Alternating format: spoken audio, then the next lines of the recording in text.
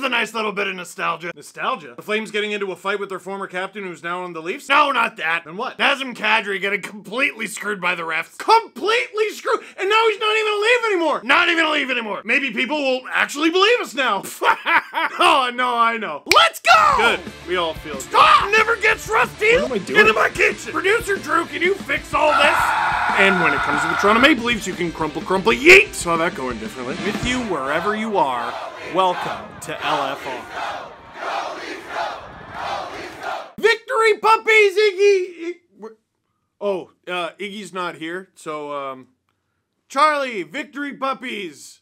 Hey, isn't this cute? Yeah, someone got this uh, for us like very shortly after Charlie died.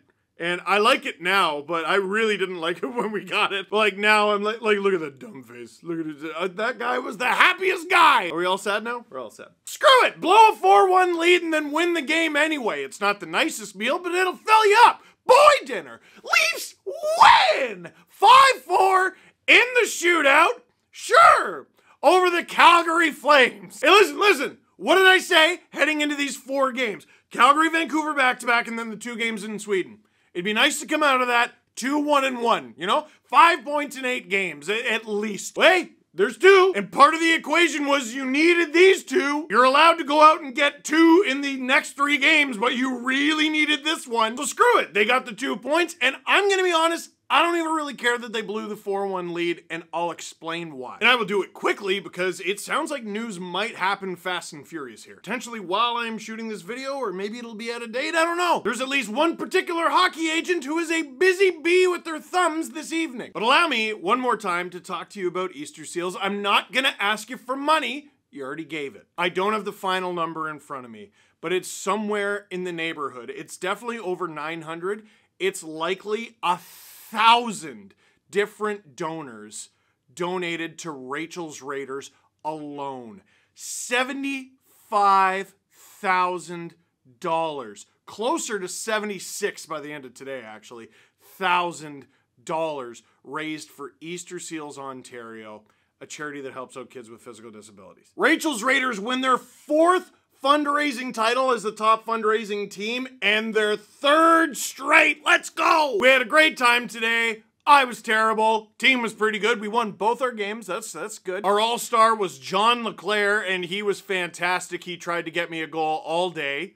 Didn't work. Actually, until the very end, my buddy Jeremy got me the puck and he fed me for a goal on an empty net, you know? But it's fine. You know what? That's a leader. That's a leader. Allow me to be sentimental for just a minute because I want to have a silly, goofy video. But, like, listen, growing up, we went to those Easter Seals camps. My mom, my dad, myself, and my sister. My sister has cerebral palsy. And they were incredible camps. They were great experiences. We got to have fun as a family, which was really difficult to do outside of like the McDonald's play place, basically, as a kid. And my parents were on the phone very often when I was a kid. My mom, especially, was on the phone very often, always trying to get help, trying to find different resources for my sister. And I think a lot of those days, our family desperately wanted people like you. So if you donated, even if you just lent us your moral support, thank you. Seriously. Like I said, this year, Rachel's Raiders raised about $76,000. And over the entire time that I've played at this tournament that I got introduced to, thanks to Kenny Reed, we've raised, Rachel's Raiders has raised $450,000. The entire Eric Lindros Celebrity Hockey Classic tournament this year alone raised over $550,000. Eric Lindros had a great line today when he was up on stage, and I'm paraphrasing here. He said there's a lot of work to be done, but this is winning. This is what winning looks like. We all felt like winners today. So let's talk about this game. We don't have to break it down goal by goal. Somewhere producer Drew just sigh of relief. I heard that from Brampton. Because I did actually think it was kind of simple. The reason blowing the 4-1 lead doesn't bother me as much as it should, besides the fact that the Leafs got the two points, they were kind of clearly the better team almost the whole time. Nylander was stupid all game long. Unbelievable. Just wrecking shot past Vladar. Tucks it. Zary gets a goal. He's been amazing for the Flames. I really hated that rebound from Woll. That wasn't great. More on him. But then Jarnkrok puts the Leafs back up 2-1. Assist from Domi and Robertson. Why wasn't this a line the whole time. Robertson needed time in the AHL. Okay, fine. Why wasn't this aligned more recently? Why couldn't anyone other than Kampf have been a placeholder? Anyway, and and I'd be remiss if I didn't mention, um, I thought it should have been 3-2 after the period. Number one, Morgan Rielly scores. Like on the broadcast, it said he scored. I watched it back. I saw the net move. Rielly celebrated. Everyone else celebrated. We all thought it was in. And they never showed the replay. If they did, I didn't see it. Uh, that I trust that it didn't go in because like the NHL is like they're bad at a lot of stuff, but like surely they would have got that. But the other one, man, Nazem Kadri got screwed. Battle in front, puck is loose, ref doesn't see it's loose, blows the play dead, Kadri tips it in like a millisecond later. Then William Lagesson absolutely mauls Kadri. As a Leaf fan, hey, great, great. Great that he did that. Protect your goalie. Uh, investment in the rest of the season. But also, um, like, what did Kadri get a penalty for? Kadri should have come out of that play with a goal and he left with a two minute minor for getting mauled, which, um, hey, you know, some traditions don't change. But he's not a Leaf anymore, so maybe it like matters now? I don't. Mm? Second period, early on, William Nylander killing a penalty because the refs just sort of went, yeah, sure, here. They abandoned the game, eh? They screwed up that call. I think they might have known they screwed up that call they give the Leafs like just a here, here, like here's a power play for you, Calgary. But then a shorthanded goal? And it's from Nylander? Yeah, definitely. Absolutely. Play him. Play the wheels off him. 3-1. And then Willie's connection with Tavar. It's so stupid. It's so stupid. It's really funny they gave Rielly the secondary assist. So the Leafs are up 4-1. They're dominating the Flames. It reads like it on the charts. It looks like it to the eyes. The Leafs have the better players going. Vladar does not look all that helpful in net for the Flames. Noah Hanifin is having a terrible game. But less than a minute after the Leafs make it 4-1, Nikita Zadorov, with his first of the season, with an audition for his new team. Now, here's why I say that, and this is T. This is even better than the game. Because later in the game, Zadorov flattens Tyler Bertuzzi coming across his zone. It, it was a great hit. It's a great hit. It's a clean hit. It's a great hit. But Dan Milstein, the agent for Nikita Zadorov, tweets, here comes Zadorov train, dot, dot, dot. Get your Leafs, hashtag Leafs Forever tickets today Hashtag we are gold star, which he ends every tweet with. Sorry, here comes the Zadorov train. Get your Leafs tickets today?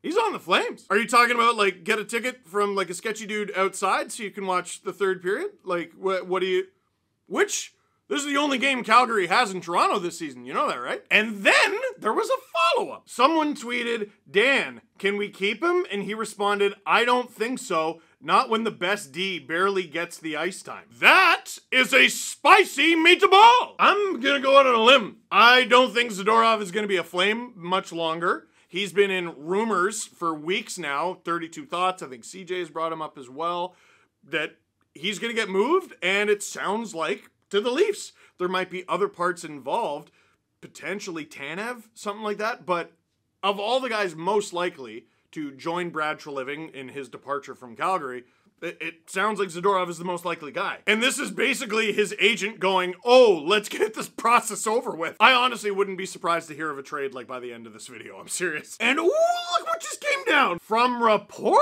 Chris, Chris Johnston, CJ. He said, with Nikita Zadorov looking to be traded out of Calgary, word is the pending UFA defenseman would welcome a move to Toronto. Oh! Oh!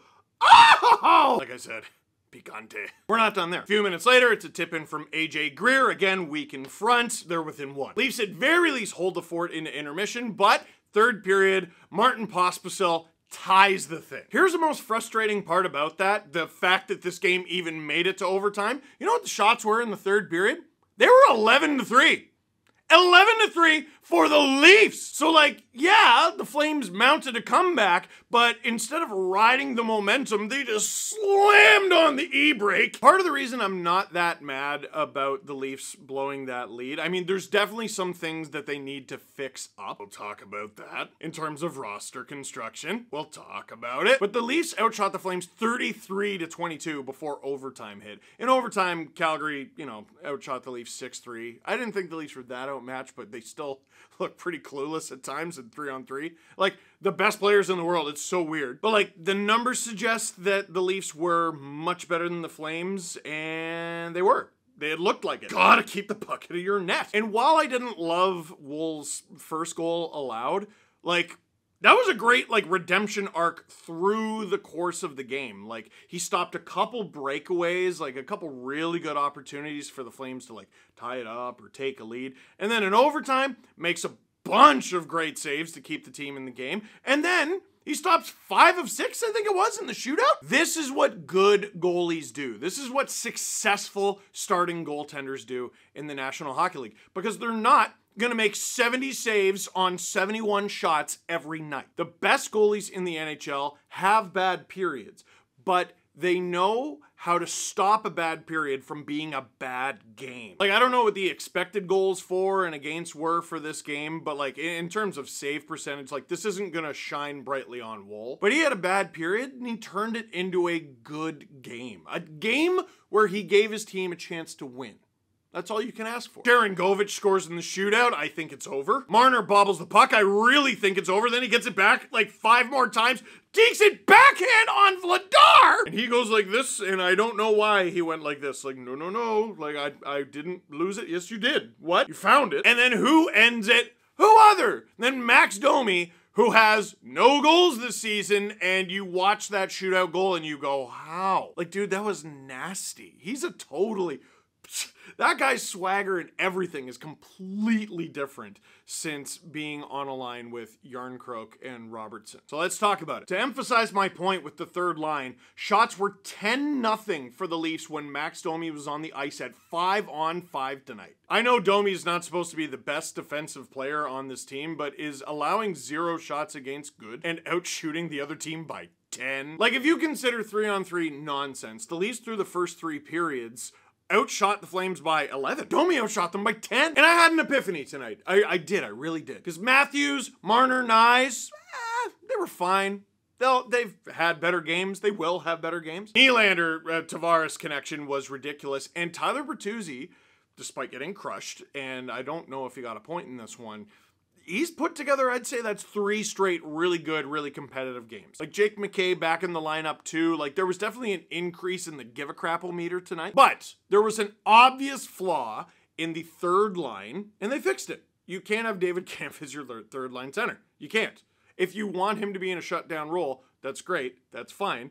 Put him in a position to succeed in that shutdown role, and that is not with Max Domi on the wing and whoever else they, it was Knies. You're wasting all three players involved. So Leafs said, okay, we'll stop doing that. And weirdly, they started scoring a lot more goals. Problem is, they kept allowing a lot. Well, who kept allowing a lot? Dude, the fourth line is unplayable. But then you double shift some guys and you move some parts around and you discover, well, it's not necessarily the fourth line is unplayable. Dude, Ryan Reaves is unplayable right now. Uh, listen, hand up, I thought the experiment would be fun and it would be great. The Ryan Reaves we're seeing now is not the Ryan Reaves we saw in the first two games, who was running everybody over, and when they had something to say about it, he fought them. I don't know if he's hurt, but he's not fighting. He's not hitting. He looks depressed. Like all that, like, yeah, I'm going to control the music. I'm going to be this team's cheerleader. He looks so bummed at all times. You know why? Because his line is fishing the puck out of the back of the net like every second or third shift. And there might be a solution on the horizon. The Toronto Marlies tweeted this out before the game, and I, I thought it was interesting. You know, normal. Friday night lines, Max Ellis, illness, day to day. Forward Bobby McMann is not in the lineup for precautionary reasons, and he will not dress for tonight. Wait, wait, wait huh? What? For Precautionary for what? What's there to be precautionary about? If he's injured, say he's injured. But is he is his precautionary hurt? What's why we're using that word? That's a big word. So what I'm pretty sure this means is Bobby McMann is about to get called up. there's a really good chance he could be put on the fourth line, right wing, so you would have Gregor Kampf McMann. McMann, I don't know how to say this without being a jerk, but like he's huge and can move the body around and also like play hockey, man. Like, so my thinking is Bobby McMann is going to go with this team to Sweden unless he just plays the second half of a back to back and gets sent back down. It's all possible. I don't know what they're doing, but like, you know, you're, you're feeling the shakes getting a little stronger, eh? I just feel like the trade volcano's about to blow. But look, the Leafs have allowed at least four goals in every home game. That's wild. They're constantly in a position where they have to outscore their problems, which is a step backward. But what if you fixed the line that you you haven't changed at all? I, I'm pretty sure it's been Gregor, like either Holmberg or Kampf Reaves the entire time. You haven't changed the winger. What if we took the thing that was zero goals for and 11 against and just stopped doing it? What if we just stopped doing that? Do you think if we just stopped doing that, like what's the Leafs goal differential right now this year? Like, probably like close to even, maybe a plus two. Imagine you could just add 11 to that with a with a fourth line that breaks even, man. We don't even need a great fourth line. Break even. And tell you what, how about what if you're like minus five? That would be like a better than 50% improvement. So, Bobby McMann is getting called up. I think he's going to get in the lineup, but there's some more Marlies business to talk about. We're about to head into Marley Minute with Nick Barden, credentialed reporter, also works with the Hockey News, goes to every Marlies home game.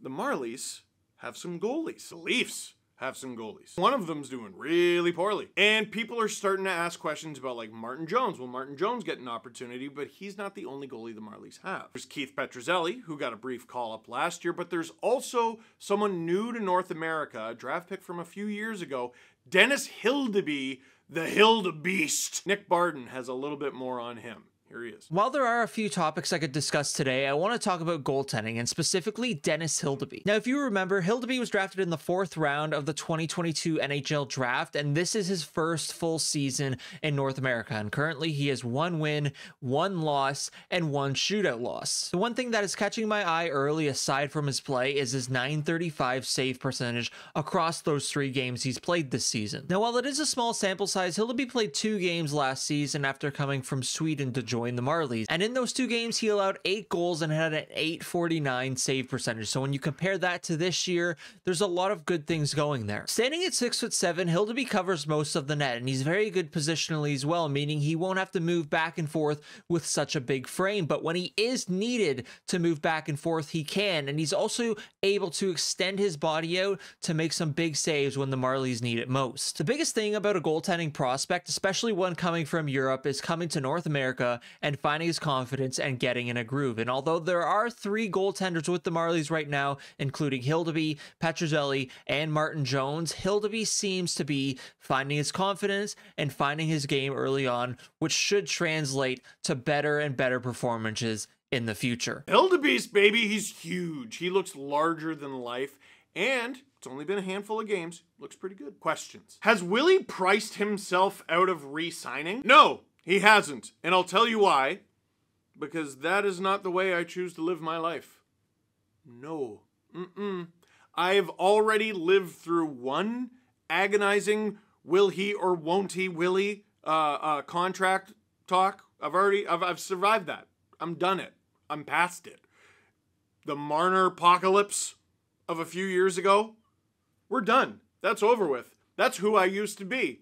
That is an ugly part of my past that I prefer we could just leave in the past. That is an ugly part of all our past. How many hours is oh just doom scrolling? How many like thinking about like oh are the Leafs gonna have to make a trade? Who could they get? Is it gonna be Hanifin? No, no. Like so has Nylander? I I I I'm sorry. Hmm.